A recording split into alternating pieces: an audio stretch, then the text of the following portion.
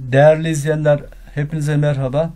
Geniş açılı ABC üçgeninde e, A noktasından çizilen kenar orta ile oluşan açı dağılımından x'i saymaya çalışacağım. Bu soruyu sentetik olarak çözmüştüm ancak yayınlamadım. E, bir kısmı sentetik, bir kısmı da trigonometrik olmak üzere çözüm yapmak istiyorum. Burada içinde 2x ve 90 artı x bulunan üçgenler benzerdir. Burada bu benzerliği hepimiz görebiliyoruz.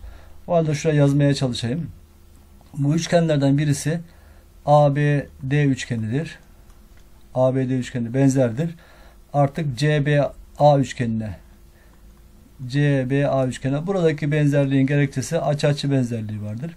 Peki bu açı açı benzerliğinden şunu yazabiliriz artık. İşte AB'nin uzunluğunun karesi eşit olacaktır. Ee, BD ile BD ile BC'nin çarpımına. Peki buradaki uzunlukları dilersek harflendirebiliriz. Diler, dilersek eş uzunlukları bir birim alabiliriz. Ben buraları bir birim almak istiyorum.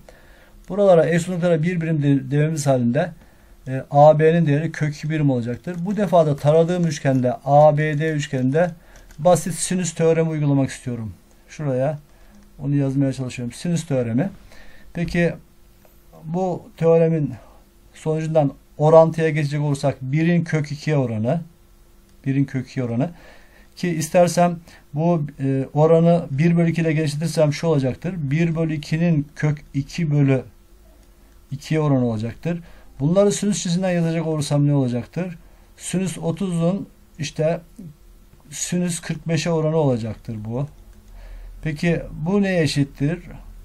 1'in karşısında 2x olduğundan dolayı burası artık sinüs 2x demektir. Kök 2'nin karşısında ise açı işte ADB açısı 90 e, eksi 3x olacaktır.